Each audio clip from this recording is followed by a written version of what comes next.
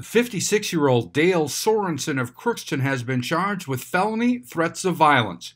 According to court records, on August 7th at 9:41 p.m., Crookston police were dispatched to 235 Lincoln Avenue on the report of a male standing on the hood of a female's vehicle threatening to kill her. When officers arrived, no one was outside and they went to, to the apartment where Sorensen answered the door and he was arrested after police took a statement from the female victim who was at a different location. Sorensen's criminal history includes a long list of convictions for assault, theft, disorderly conduct, and failure to register as a predatory offender. I'm Neil Carlson reporting for iNewZ.TV.